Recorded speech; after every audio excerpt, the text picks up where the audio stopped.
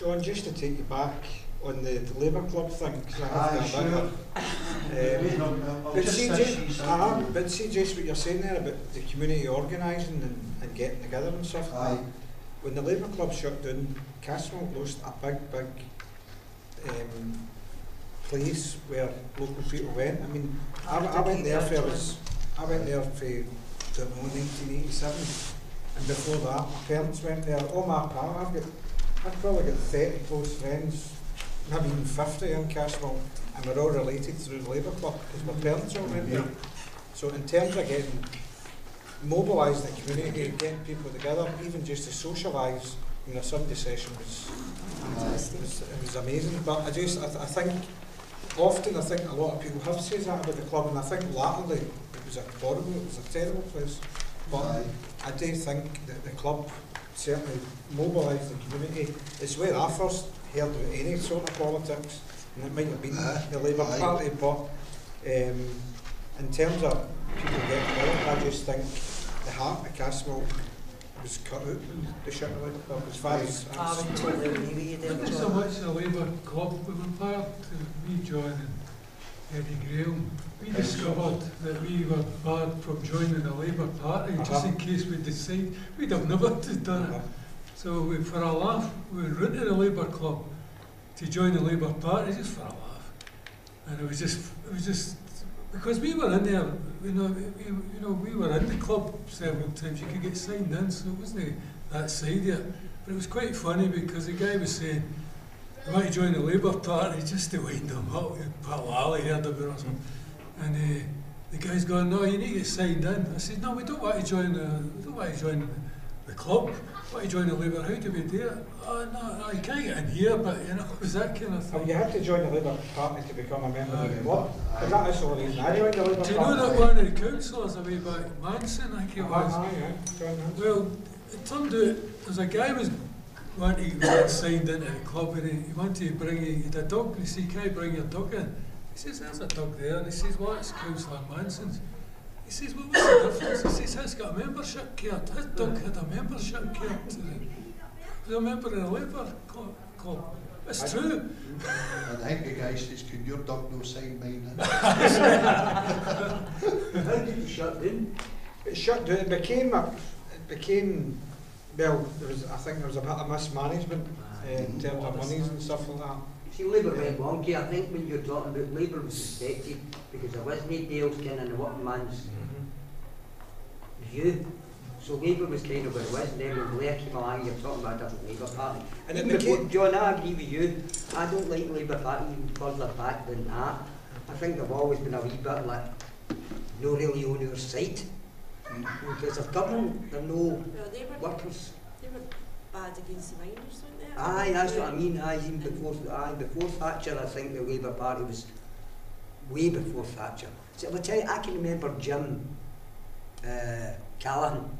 I can remember Jim Callaghan as a Prime Minister, and that's when I first realised the Labour Party and the Tories weren't much different. That was my first dawning in that, you know what I mean? And then I realised that Labour was the working man's party for years until New Labour and that kind of thing we were started to do. But that's what I think. I could see Labour having a bit of, uh, what do you call it, respect in working class areas for a long time.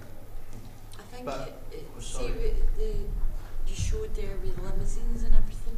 I remember that time. I think that as a community, maybe that was a, a social point or a focal point for people to collect together. But underlying that is what John was, was saying. There was a lot of corruption already going on, and actually abusing the community and doing things behind the community's back, but appeasing the community in the Labour Club. So it wasn't actually uh, productive, as we all know, for absolute sure now. I mean, the Labour Party is long gone and, and exposed for the shit party it is. I think I'm, I'm, I've got to accept what John says. I mean, he's telling me it was a important thing in his life and a lot of other people, and that's how they got to meet and talk and stuff like that. So you can't. Uh, there's a few other institutions, even bad ones, are good in communities Aye. because it's the only thing you've got. You know, it's What uh, do you, can I ask you, John? Would you agree though? I think we've had as councillors go, we've had some stinkers in Castlemilk, you know, and I've certainly know the, the of the people. But you look, you look back at uh, Teddy Taylor, who, and I, I remember him through the Teddy Taylor Cup, the primary school football teams played for up until bloody the late 80s, I think, even when he was away. But uh, did it not transpire that Teddy Taylor was actually, obviously, he was there almost appeasing Castlemilk residents and Right. kind of fighting for them. Right. But he was a Trojan horse, basically, and he was taking away the vote for the SNP at the time. But you couldn't. Uh, I, I, I've never seen any of the councillors, honestly, doing anything useful for people. And I've got no doubt you were saying about the mismanagement. I think it's true to say the Labour Club was investigated by the fraud squad. Eh, Well, I wouldn't doubt it. I wouldn't doubt. I mean. I, I was, I was merely a And that's When just- I, when, I said, when I described it as a gang hunt, I think I was really talking about the councillors, but maybe you wouldn't even like that description. Well, well, do you know, I, fair I, enough, I, you know. I wouldn't even know because they weren't Uh, even in, they weren't in our social circle. No. They, they probably sat right at the door as you went into the lounge and sat themselves. They never even sat with the rest of the people No. who were actually in the club. I'll tell you something interesting. During the miners' strike, eh, Eddie Duffy was one of the people that was involved in Castlemilk and the miners' thing. And Eddie had the idea about inviting some of the miners up to Castlemilk and putting a night on for them in the Labour mm-hmm. Club. And he knew that I was bad, and maybe Hub was bad as well. But he said that's not a problem, you know, you will get in that night, you know. And it was good, it was good for that, obviously. It was great to invite the miners and their wives up. As it turned out, it was a strange night because it turned out it was a, an all-nighty fight in the hall that night. And I'd been into one of the other bars because I don't really like a big kind of noisy things, right? I'd been into one of the other bars and he, I come back out and Carol and Larry Flanagan, one of the Labour guys at the time, one of the good Labour guys, was attending to people behind the bar that had been injured. And I've gone, what's happened here? And Carol says, you'll never believe it. When you went away there, this almighty fight broke out. She said it was a rugby match. It was going up and down from one end of the room to the other.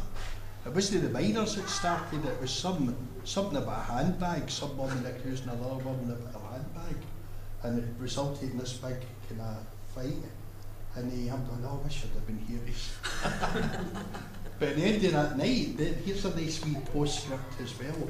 Carol said to me when we were going up to the Labour Club that night, do you behave yourself here? and she always says that when we're going to court and things. And I said, that's how I'm fucking going to court, because I never behave myself. And he, but she says, you behave yourself here. And he, she gets thrown out at the end of the night by one of the councillors. Again? Is that right? the Councillor Walker, do you remember? Councillor Walker's This husband, is our husband, aye. he barred me. He thought I was a miner's wife. And I've gone out to then you he to the threw road, me to out. Karen, you're not allowed to behave. No, but it was as prejudiced as that, John, in the days, you I mean, I- as I say, I just seen it somewhere where, I mean, there could be 100 to 200 people Aye. in that place, Aye. in the community, if you want to mention it or grab people together. Aye. I mean, I played for the football team and all that kind of stuff as well, so it was it was part of me. I, I grew up. Was that Aye. Labour Club? Well, maybe, maybe I'll need a bit, be a bit more eh, targeted in my remarks. And we probably, I'd say, to be honest, we probably were a gang, because a, a group of people were a gang, you know what I mean? But I'd, I just think the heart of the community was ripped out, Mhm. a, a big part of it, when, when it shut down. Aye. Aye, I think so as well. definitely. I know a lot of people went to dancing, and, you know, they weren't politically. No, people know, are a lot always of people trying to and get had into a, place. You know, Aye. Uh, that was it, that's, that's probably why they'd so Cathcart such a big Labour party, Aye. because they'd a Labour club, that, Aye. that's the bottom line, you know I what I mean? remember I used to go to the old halls and kind of the old days. We've all got That's trouble, right. you know, because it was, well, no, because it was a dance on, you know what I mean? It's like, why would you want to go to the old shop? Well, they had the British Legion, didn't they? And That's people right. used to go there Aye. just because it was on a place you could go and get a, a drink. And then when the Queen came on at the end, people would think either need to fight There or... used to be fights on it every week because I lived in Arnold Uh-huh. Like right across there, and you could time it. I think that You might a know- lot to do with it. it. You know, I've got an you know, you could you could Would time you it, and you feel would look about at windows. I feel that there's not enough, When the Fairfield club was there's rubber not one. enough fight back mm. going on at the moment. There's Well, Not I'll get issue, you know. People don't have any can I fight ask in them. a- What do you Can I ask a wee question? Oh, Yeah. sorry. How do you reckon, because obviously like nowadays we've got loads of social media going on, so what do you think is the influence of like social media on direct action nowadays? Like do you think that adds to it and kind of gets more people involved? Well, you've got to make a distinction, you know, I mean, there's a distinction between direct action and simply demonstrating, Mm, you know, a demonstration or whatever. Eh, I mean, social media should be a great tool for that sort of thing, and, uh, and it pro- I think it probably is in other countries. It's been used that way. But I just can't understand the apathy or the lethargy of people in Scotland, for example. You know, I really don't understand it. And the, so social media should be a, a good tool, but it's also a danger in the sense that see the amount of people, we've Castlemilk Against Austerity, our Facebook page, the amount of people that like it, you know, see if half of them came to meetings. So and keyboard ordered them. activists, do you think because Keyboard- keyboard activists that called them? Aye, that's That has been protested. Aye. Aye, You think that's that's right. right? Do you think if they're mouthing off on Facebook, they've done it Aye. bit? Social media is timid, it's quite hip and it's timid, it's not very active. That's right. It's also a double-edged sword. like a problem, isn't it? You know? It's also a double-edged sword. You've got to remember not only are the left using social media, but the right are as well. Aye, I really? You can, you can go online and watch Ukrainian fascists right. kick somebody to death for That's being a migrant in a forest somewhere. You can watch these people be beheaded, I don't know what That's people right, watch yeah. that for, but you can watch that. Mm-hmm. So there's a lot of uh, politics goes on with social media. I think the social media is awful weak, to be honest. It's like, I'm actually put up at myself and I'm just new owner. It's like nothing gets done, but everybody talks. That's I bad think see if people could use the positive aspects there, and also it, it requires people to to change a lot of their thinking, not just about social media. Aye. They need to turn off that TV. Oh, You know, they need to stop watching uh, Britain's Got Talent and all these stupid shows that are on. You know, all day. and take it. I mean, they're living a vicarious existence. You know, they should live here and now in their own reality and no escape into the TV or whatever. I've often thought when we were involved in the 1980s and so on, I often wondered why the Tories never just gave everybody a free television and a video VCR, you know, and made videos freely available to people. And that would have just killed killed any any revolt or whatever. It would have went a, a long way towards it, you know. So unfortunately, people have really got to rethink things, you know. And it's how to reach them. It's getting more and more difficult to reach them now.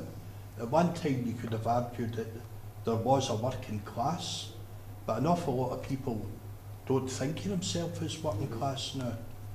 And an awful lot of people don't kind of qualify, you know, precarious uh, work situations and just people that don't feel that any longer. The thing is, John, they're actually, that whole TV analogy thing, they're, they're doing that now. You can go, even if you can't afford a TV, you can go to Bright House Bright and get one for during week. right. them for the rest of your days, so.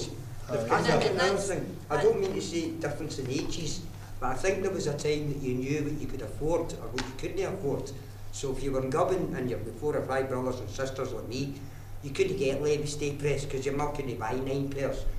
But I think nowadays everybody can get. So the idea of politics based on want or need is almost carried on. It's not there anymore. It's like I think your kids just get. It's on the never, never. So they don't feel the that's- never. that's- they don't that's- want Used to be with slavery. Aye. That's, but I Aye, think, do you know I mean? I think, we, I think, I mean, when the, when the place was industrialised, you'd a lot, you'd a lot of sort of working class institutions, even if it was a labour club, Mhm. it was this, you know what I mean, there was, there's nowhere to go to find, to do this nowadays. You know, you can do it on social media, but it's, mean, But then there was institutions that you go and talk about politics, or even when there was employment, there was unions. So you went and asked an old guy what was happening. That's well, that's what I did. That's how you learn things. That's right. And there was always somebody about who was involved in a union, involved in this and that next thing. But I mean, with the kind of social media thing, if you can't have that personal, you know, if you can't meet in your community face to face, and nobody turns up, everybody might like, Aye. but nobody turns up Aye. and people don't realise how important that turning up is. Mhm. You, Well, I, I, I, know what I learned mean? my, I learned my politics in the Labour Club and at the football. Basically, I've had guys who are up there, a wee bit older than me, 10, 15 year older than me, Aye. and it obviously um, paints a picture. that- Yeah, that mentoring stuff's disappeared. You know, disappeared with it. With the institutions shut Barty down. Borough Halls and I mean, Pearce it's- Institute and aye. lecture, that's where I got mines. As I as a say, I kid. used It's to. also Come to the, say the way that football. It, it's also the same with the way with the like you're saying it's like working like there was like a follow through somebody worked at a job the, the next generation worked at the same job it was big industrial jobs that's Aye. changed as well and how people interact but the other side of social media is I don't buy newspapers or really watch the TV Right. that much but I do use social media Aye. and I got lots of information that way Yes, would and it's kind of woke me up to plights of other people in different countries as well. So I Mhm. think there's a positive to that that can be used, but don't be deluded that that's action because it isn't action.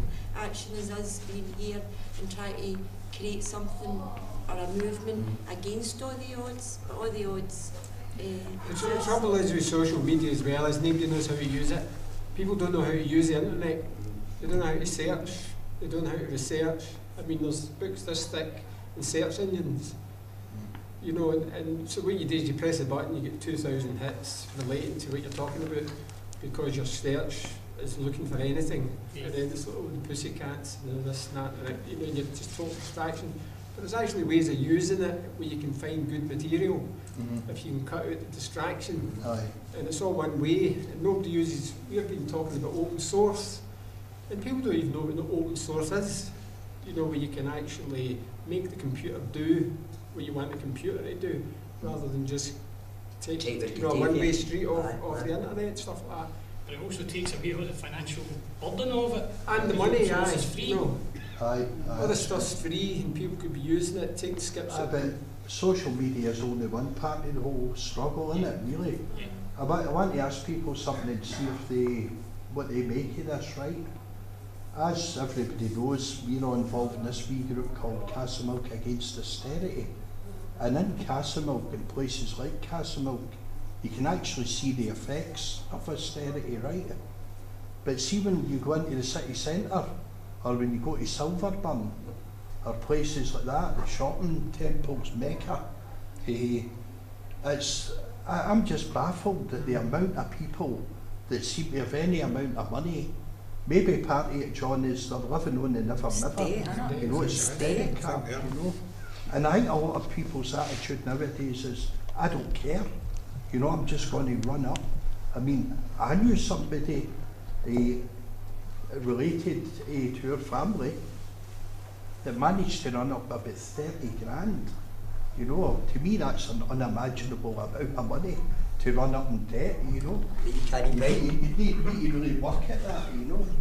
Or he wasn't able to pay it, you know, he'd got half a dozen different credit cards out and who knows how, but ran up 30 grand worth of debt, you know. Can I just say, I've never ever had money in my life, and I've never really had a credit card. But I was made bankrupt about five years ago, and my debt was my student loan and uh, council tax that they caught up with me that I hadn't Mhm, paid, and it all tallied up to twenty odd grand. Oh, gee. But I had, n- I had nothing. I had Aye, nothing. aye. It wasn't that I had any material things Aye. to show for it, but that it's like we're all caught up in that kind of that kind of Slavery level. of debt. Uh, you dare get yourself an education, you get that. But it's like, I mean, there's, there's that guy, Graeber, wrote the book in debt and stuff, and he was talking about, you know, the biggest banks in America, where did they make their profits? And people think, oh, it's the arms industry, it's this and that, next thing. Subprime. CDOs. And they make eighty percent of their money in, in the, in penalties. Aye. Just penalties. The bureaucracy makes all the money. They don't even know what it does. Nobody knows what it does. You just go in and it's like you get the form and the next thing you, you owe money. Can you imagine these Aye. billions and billions and it's Aye. all because people can't fill in forms at the right time and stuff like that. But, but why are people no fighting against this, you know, this hysteria? Mm. That's what I want to know. See, that's what I can't get my head around. People are scared so of that, yeah. certain, yeah. Personally, people are scared. Well, they Or don't else unreasonably even. but they don't think it can make a know where to difference because they, they just look at it, it just hits them. There's just all this masses of mm-hmm. distraction. They think, Overwhelming. I can't make a difference mm-hmm. here. That's what I mean, I And don't take- realise they actually can Well, make a difference. does that mean that we're wasting our time then? Hmm? No, Does no. that mean that we're wasting our time? No, what I'm, what I'm saying is, the saying why people don't do it is because they've got used to it, they've got used to the Aye. debt, they've got used to this, and they don't think it'll make any difference, too big. So they don't think it can make a difference, and that's what stops them. I don't know, too busy trying to save themselves. Uh, just To- an to think that- individual. Aye, to think that getting together with other people. But then again, you hit the nail on head with the, the Britain's Got Talent and the EastEnders and the people feel that these things are more important Oh, than yeah. coming to a meeting like this. Aye. I think what I'm saying is that my story's got a sad ending because in the seventies, eighties, nineties, I think I felt more optimistic. So did I. Things could get changed. You know? But and you think the foot mobile phones and all that, you think there's a, need? yeah. and there's a lot of ill education about now. See, a lot, of, a, a lot of the debt we talk about are under 30s. We, I kind of schooled not to do that. You know what I mean? You were kind of told you can't afford the credit cards. and, you know what I mean? You couldn't go to a bank and get it. A bank manager wouldn't give you But I find an awful lot of the debt. I've got a 31 year old lassie I think she's just paid off four grand there after a couple of summers of travelling all over the world and writing her motor up, getting a new one and getting this new motor while the old one's trying to get sold. And before you know it, she's four grand in debt, Dad. And I said, fucking hell. And then she started paying it off that year there. No oldies for a year. Her and her boyfriend being quite strict and the debt is paid off. Well, I think that's just an ill education, maybe even in my part. But I dare say she's running the debt up she's 25, at that age anyway. So I think younger people see debt as a part of the plan. Whereas it wasn't for us. Is it encouraged And I don't mean to go with the age thing. But the the, age but the thing is, there's millions have of brilliant changed. things going on. There's millions of brilliant things, millions of things young people are doing. You know, look at South America, the whole thing, I mean, he just says, we don't want any day with it, world trade. They survived the meltdown and all this kind of stuff. That's right, The, prob- the problem is most of the work we're doing is, is, is cultural change.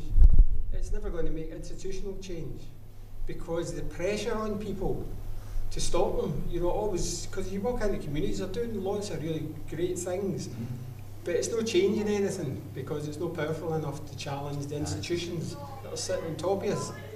And, and so it's how you take all this cultural stuff that's happening and concentrate it on making institute, you know, i.e. changing the banks and the people that are controlling what we're doing. You know, and er er I mean, there's far more going on now than what there was in our day, and there's far more awareness and all this kind of stuff. And then it was pretty violent. I mean, you think about the, the 70s, the 80s, stuff like that. I mean, I used to go in demos in London, it was really violent. The miners, you know what I mean? And if you went, you know, the city halls, I remember going to see that lassie Devlin, you know, was Aye. talking about the troubles. There was people throwing fucking bricks at you and stuff like that, and you were glad the cops were there to stop you getting your heat kicked in. You know, but you, but you can do that now, you can actually go and talk about things and have meetings and all this. So there's, there's lots of good stuff going on. It's just how we create, you know, how we put it together to create that kind of institutional change. Because the banks keep killing everything we're doing and sitting on top of everything we're doing. I don't know Can, can I can I say something? Because I, I think we might be going. Uh, but I wanted to say something in relation to this. Like I would agree with everything you said about young people, and I got myself amongst these young people that are not as active as we should be.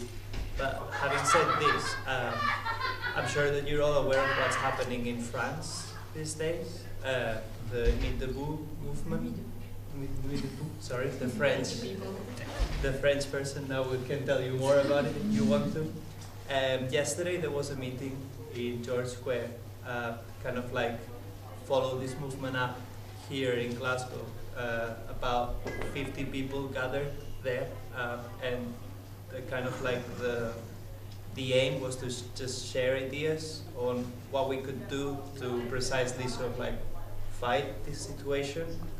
Um, I would like to, uh, if, if you're feeling up to it, I would like to invite you to the next meeting, which is this Saturday at 5 o'clock in the afternoon, because it's been brilliant listening to your fights and your struggles, and I think that group of people that will be there, uh, I will try to be there myself, would benefit a lot from just listening to your experiences and you sharing with them your strategies because I think the whole intergenerational thing is very important. And if you can like pass this knowledge to people that they gather there and they want to do something but they don't really know what to do or how to do it.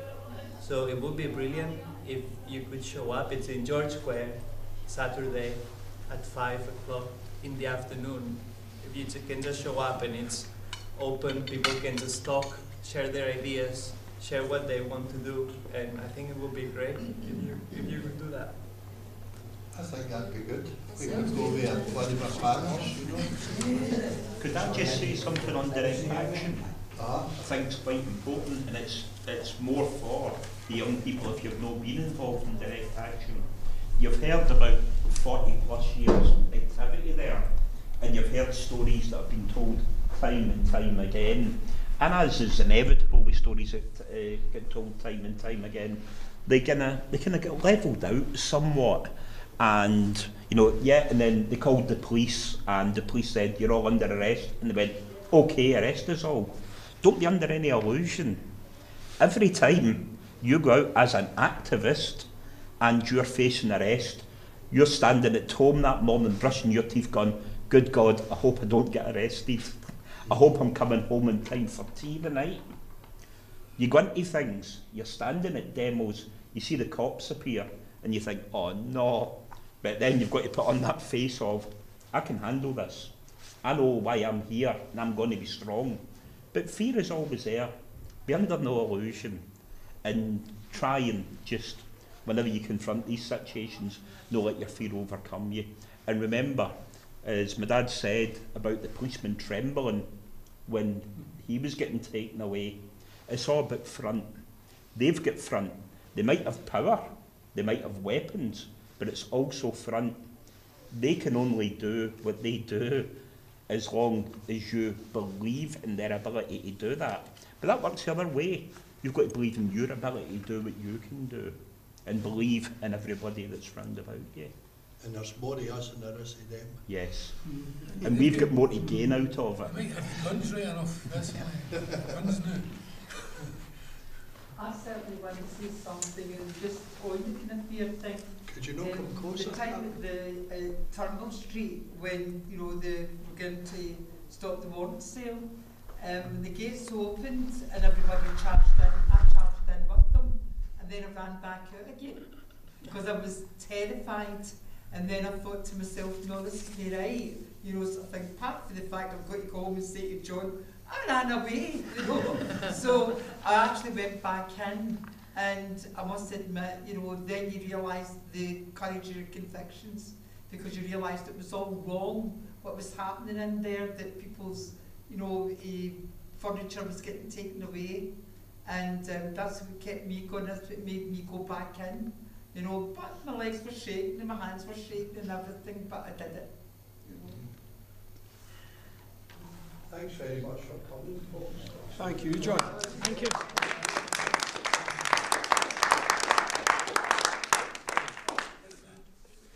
I will share the event on your webpage, That'd your Facebook, great. and then you can see. Definitely valuable thing for like Cancer, couldn't stories, stories about